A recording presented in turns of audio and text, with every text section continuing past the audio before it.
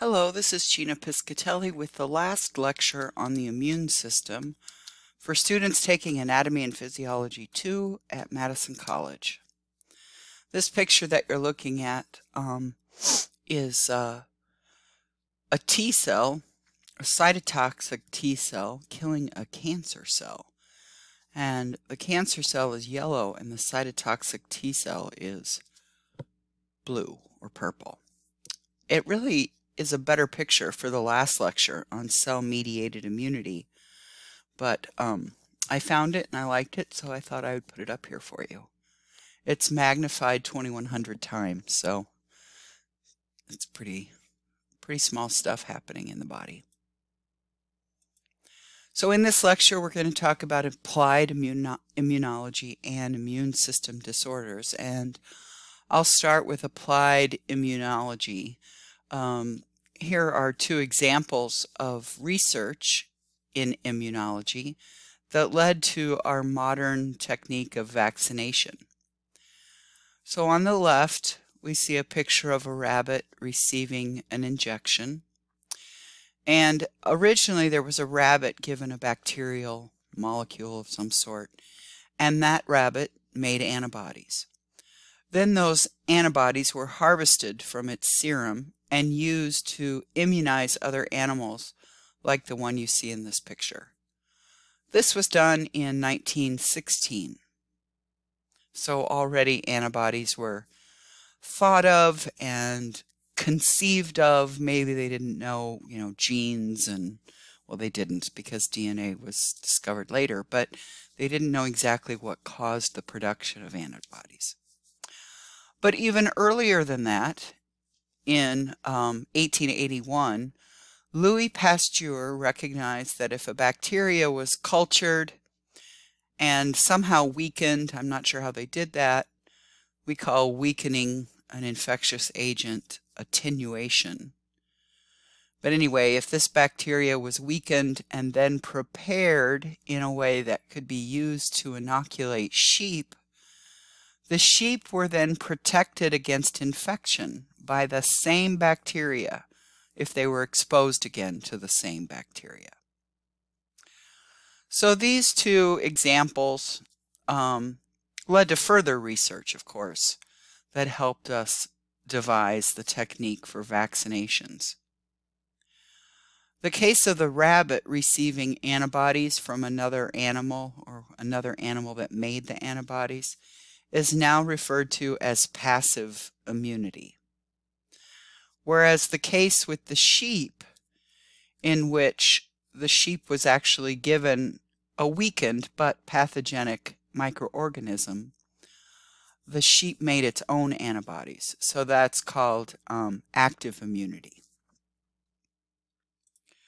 So I've introduced the types of immunity, at least the two basic types, active versus passive. In active immunity, antibodies are produced by the body's own immune system. In passive immunity, a person receives antibodies that were made by another individual.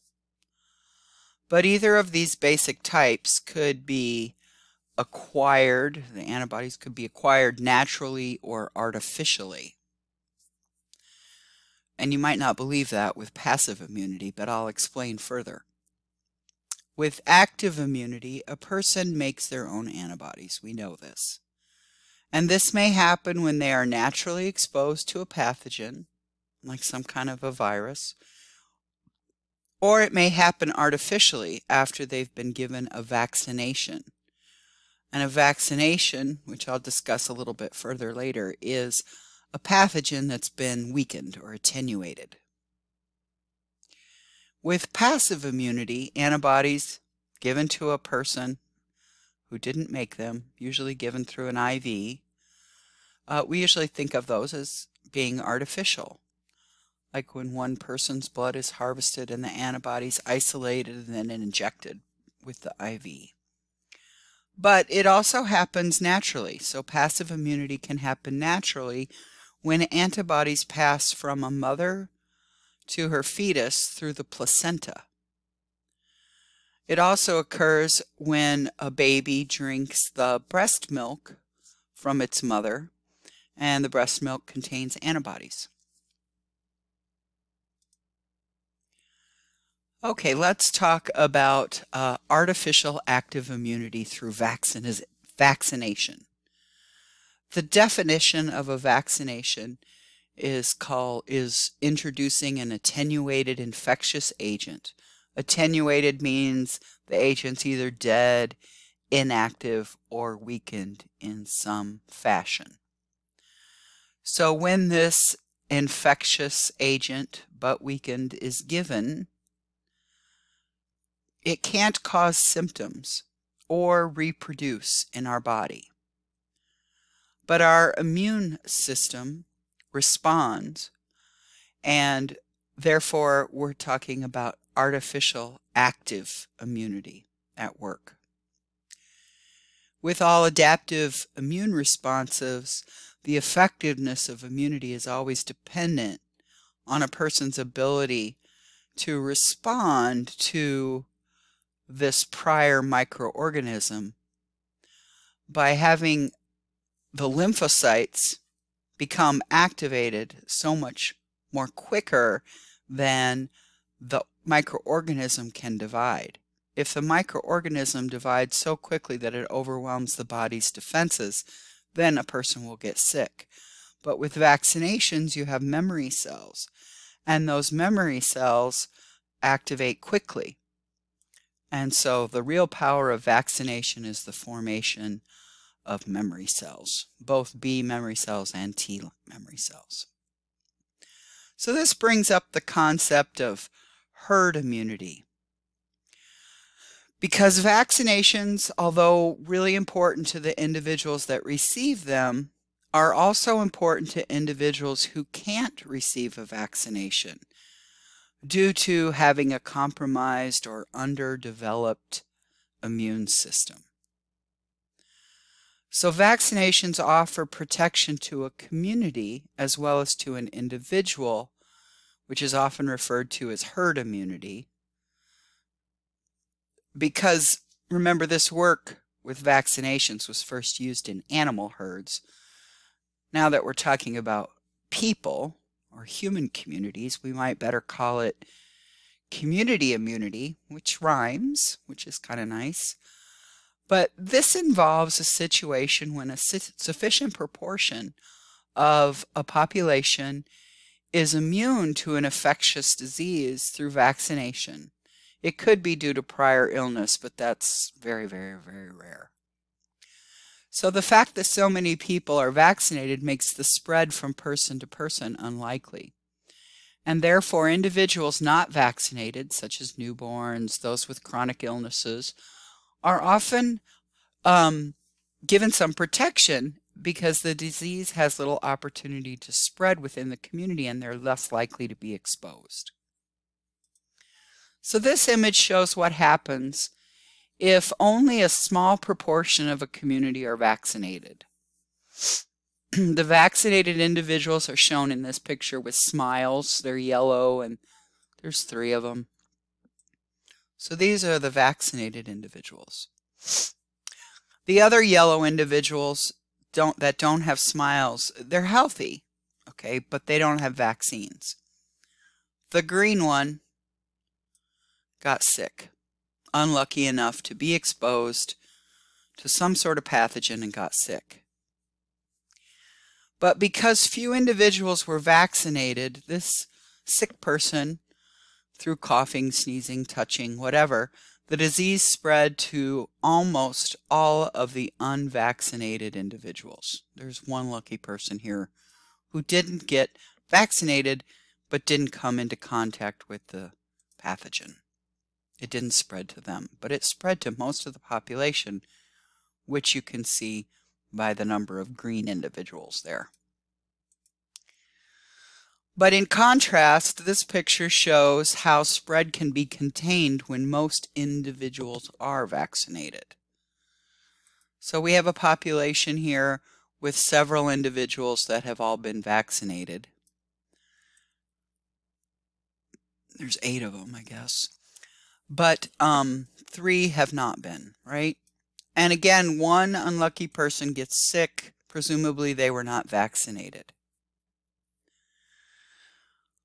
But the sick person, when coughing, sneezing, spreading the disease like a normal individual would um, if they're out and about, the vaccinated people were protected. And we see that very few actually acquired the, the disease through exposure. And, and that's because those that were vaccinated, even if they were exposed, were able to mount an immune response and therefore they didn't get sick and the microorganism presumably died in their body and they couldn't spread the disease. So that's a little bit about uh, applied immunology and how it relates to even our current day situation with COVID. Now let's look at some immune disorders. I'll briefly talk about organ transplants and rejection, the means by which um, organs that are transplanted can be rejected by a person's immune systems, a person's immune system. And then I'll talk about immunodeficiencies versus autoimmune diseases, and then finally hypersensitive hypersensitivities. So starting with organ transplants. Transplanted tissues from one individual to another of the same species is called an allograft. Allo means same. And a rejection can occur, even though it's from the same um, species, due to a person's natural killer cells, their macrophages, antibodies, and T cells.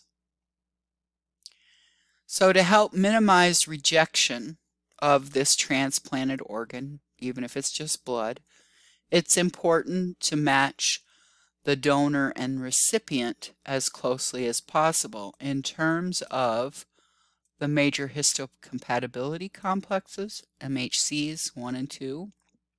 You'll never get an exact match, but the closer the better. And also it's important when you're doing uh, transplanting blood to make sure that the ABO antigens as well as the RH factor antigen uh, matches up between the donor and the recipient. Now with organ transplants, it is possible to give immunosuppressive therapy like corticosteroids and other things, and that will help prevent lymphocytes from dividing so rapidly, but it will also, in some cases, depends on the treatment, will kill any rapidly dividing cells. So it suppresses the immune system and the problem with that is that it then allows other opportunistic infections to occur. So if you've suppressed the immune system, um, then you have a problem. For example, I know an individual who received a kidney transplant and um, eventually that kidney failed and he had to go back on dialysis. But um, what actually ended up causing his death were all these opportunistic infections and cancer because the natural killer cells were suppressed. It's sad. Okay, let's talk about immunodeficiencies now. Immunodeficiencies might be congenital, that is a genetic defect that you're born with, or it could be acquired. So an immunodeficiency, an example of an immunodeficiency that is genetic or congenital is severe combined immunodeficiency syndrome, SCIDS. I understand now SCIDS is not considered one particular syndrome. There's many, but originally it was identified as just one disorder. So I'm going to talk about SCIDS first and then we'll come back to the acquired example of an immunodeficiency.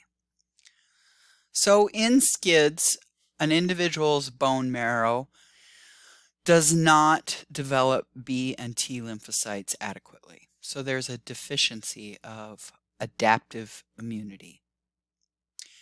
And without adaptive immunity, intervention must be taken quickly within the first month of life. If untreated, the disease is fatal. Now, I'm not a clinician, so I hate to say something so severe as intervention must begin within the first month of life because we do know there are treatments now, like transplantation of bone marrow, hematopoietic stem cells.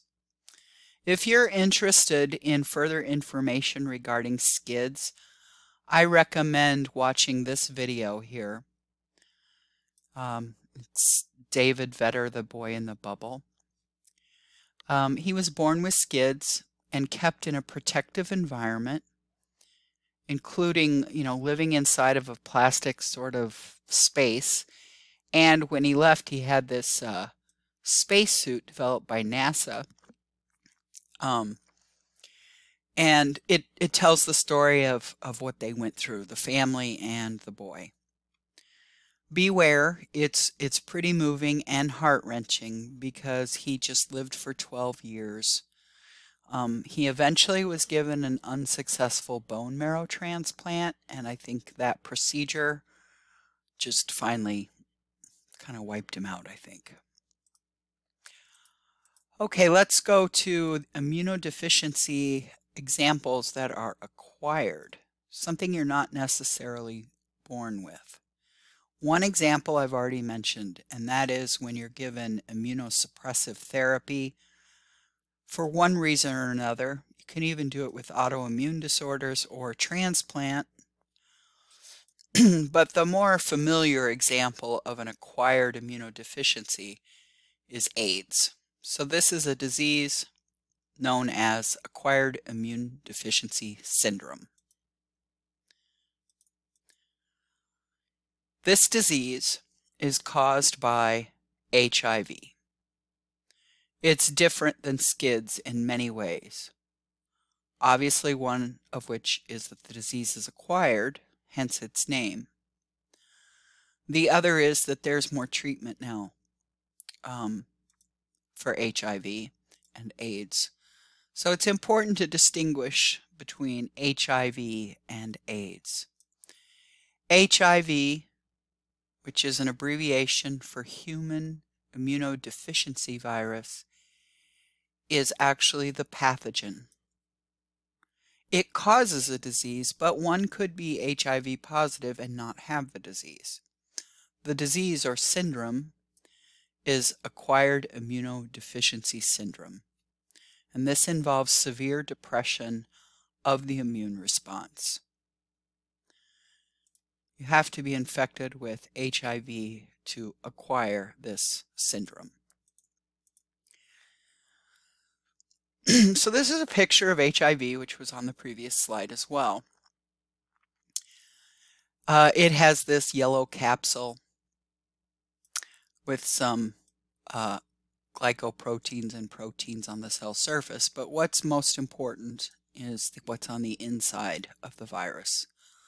The virus contains RNA, and here we've got two different strands of RNA and it looks like there might be some enzyme there called reverse transcriptase. So the virus is called a retrovirus because it contains RNA that can be translated into DNA. It doesn't mean the RNA is converted.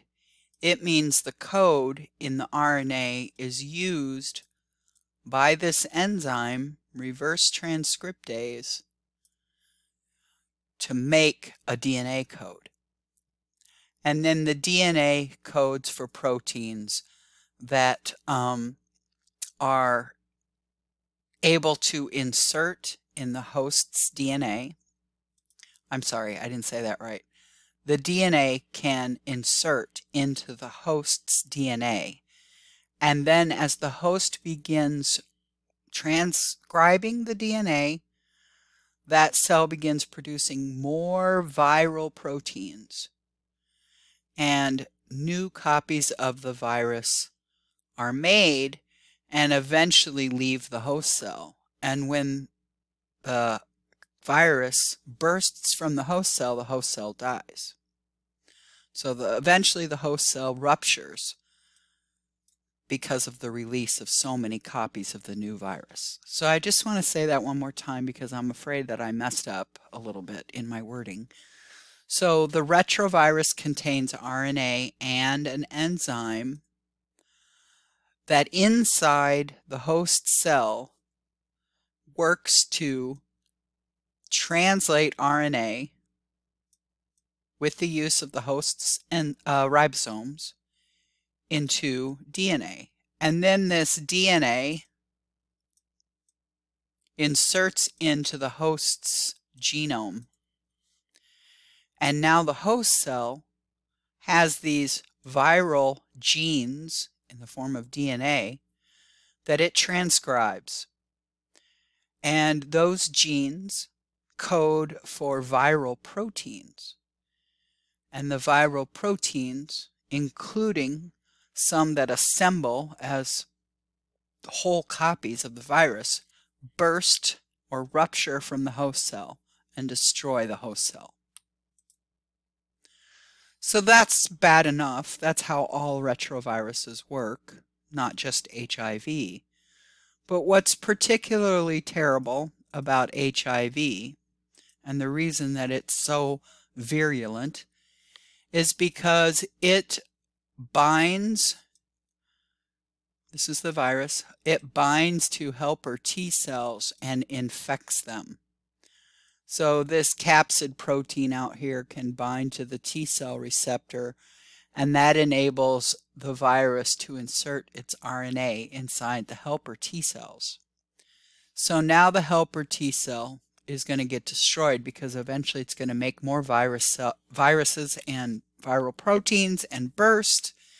And so what we see is from a normal helper T cell count of 600 to 1200, which is quite the range, cells per microliter, in a patient who has age has AIDS, there's less than 200 helper T cells per microliter. So a fifth, a third to a a sixth, I guess. And so it drastically reduces the number of helper T cells. Now, what are the consequences of having an HIV infection? Let's start there. First, there might not be any signs or symptoms, but a little bit later, it'll be kind of like any virus, I guess, flu-like symptoms. Not that I'm trying to scare you because, again, I'm not a clinician, okay? But progression occurs over months to years, and you get such a decrease in helper T cells that you see um, inflammation of the lymph nodes, but the biggest problem is opportunistic infections. Cancer is a big one, and it can lead to death. Now, we do know that there are treatments now for disease, okay? Um, and we also know the modes that this virus is transmitted, usually by blood or placenta, semen, vaginal fluid. Casual contact, you know, skin to skin, it's essentially zero. So the reason it's so harmful and the reason that um, opportunistic infections occur is because it targets specifically these helper T cells that influence every branch of the immune system. So initially, it might have infected a macrophage, for example, but then eventually the helper T cell recognizes um, a macrophage that's like displaying a viral particle. And so the helper T cell gets infected and the helper T cells don't work properly. And if they don't work properly, then cell-mediated immunity doesn't work properly. And remember that helper T cells actually facilitate the production of B cell clones that would be specific for that viral particle. So without helper T cells, there's no amplification of antibody mediated. You still might make some antibodies against it, but you, you won't be doing any killing, really. And the helper T cells, you might remember, also help influence and enhance nonspecific resistance by attracting neutrophils, macrophages, causing basophils to uh, release histamine and So you basically lose both nonspecific resistance and specific adaptive immunity. And that's what causes an individual who's infected to become more susceptible to any type of abnormal cell, including infection or cancer. So here's an example of a patient that um, was HIV positive and developed what's known as Kaposi's sarcoma. It's really a rare cancer that forms in blood vessels, and you get these bruise-like lesions on the skin. Um, that's really common in AIDS patients because the dendritic cells aren't activated and the macrophages aren't. There's other examples of opportunistic infections. Um, toxoplasmosis would become much more not that it doesn't occur in other individuals, but it would become much more serious. Pneumocystitis, tuberculosis, herpes simplex virus, and yeast infections because we normally have endogenous yeast, um, Candida albicans, present, um, particularly females in the vaginal tract, but um, they're kept in check by the immune system as well as other competitive microorganisms. And without the immune system, these um, microorganisms can take hold and cause very serious disease. Okay, so that was immunodeficiencies. Now let's talk about autoimmune diseases. So in this case, it's not a reduced number of cells that's the problem. In this case, the immune system has the cells, but the cells and the antibodies lose their ability to distinguish between self and non-self. So in this case, antibodies mark the body's own cells as well as phagocytes and cytotoxic T cells, but those cells destroy tissues. So the phagocytes will destroy any cell that has antibodies on it. Cytotoxic T cells will do the same thing. So examples of autoimmune diseases that you've probably heard of include rheumatoid arthritis, in which joints are um, degraded. I don't know if destruction is the right word. Another example is multiple sclerosis, in which the myelin in the central nervous system is destroyed over time. My sister-in-law has MS, but she's doing very, very, very well. And then type 1 diabetes, in which pancreatic beta cells are destroyed, and so insulin is not made. So those are some examples of autoimmune disorders. The last disorder that we'll talk about are hypersensitivities. And these are very different than autoimmune diseases or immunodeficiencies. Uh, inflammation may occur and inflict damage on body tissues, but generally hypersens hypersensitivities are treatable. They pose a threat, though, when the respiratory system is affected, like with asthma, for example. Um, and I'm sure that there's so much more known now about the damage that hypersensitivity reactions cause than I'm aware of to date that they might be much more serious than I think. But generally speaking, hypersensitivities are often treatable. The immune system usually perceives a threat that actually is harmless. But once that immune system is activated, you know that cells are going to be killed and so tissues are going to be damaged. And different hypersensitivities will activate uh, the antibody mediated immune system and others will activate the um, cell mediated immune system. So let's look at type 1 hypersensitivities because these are the ones that people are usually the most familiar with because we call them allergies. Type 1 hypersensitivities have, they range in severity, but usually once you're exposed to the allergen or the harmless agent that actually causes you harm. You get an immediate reaction, can be severe, and the reaction begins within seconds after contact. But it's usually short. It only lasts like 30 minutes.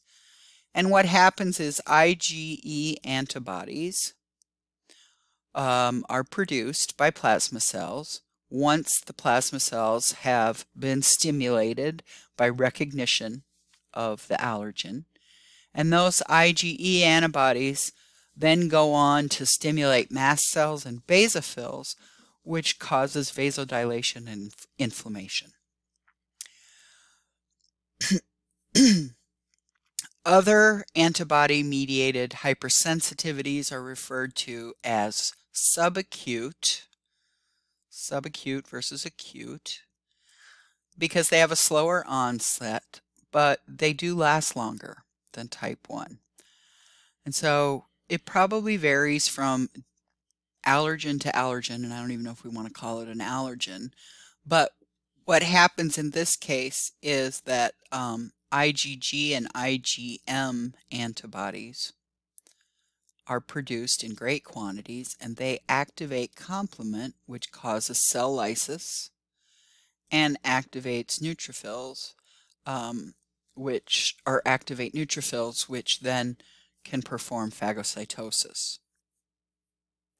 My understanding of subacute hypersensitivities is that although the symptoms may actually be less severe, the recurrence and chronic nature of subacute hypersensitivities might actually cause more permanent impairment and further disease than type 1. And primarily that's because type 1 hypersensitivities are recognized pretty quickly because the reaction is immediate and severe and so treatable or at least treated. So this is the mechanism of a type 1 hypersensitivity. You first have a sensitization stage where the antigen, is introduced into the body. And first, you know, there's a, a B cell, a regular old B cell that recognizes the antigen, and then that B cell is cloned and a plasma cell is created and so these plasma cells can be like memory cells too, and they produce vast numbers of IgE. Now the IgE antibodies can attach to mast cells in the in the body tissues. Now so far so good. All we have are uh, mast cells and basophils ready to release histamine. But it's not until the secondary response that we see a huge histamine release. So with secondary exposure with the same antigen, now the antigen binds to the antibodies that are on the mast cell or the basophil. And now the mast cell or the basophil releases histamine. And what you get are blood vessels dilating, which promotes edema and lots of mucus production.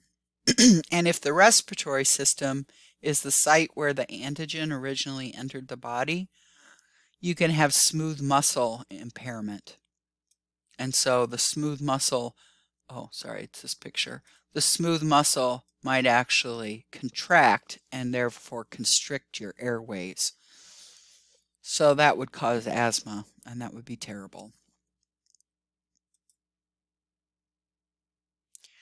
Now, those are all antibody mediated hypersensitivities.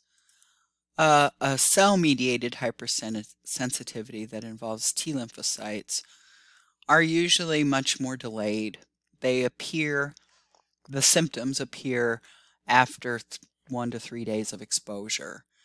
And uh, again, we've learned ways to treat these by suppressing the immune system with like corticosteroids, but examples would include dermatitis, you know, caused by poison ivy or some metals, maybe cosmetics, chemicals and deodorants.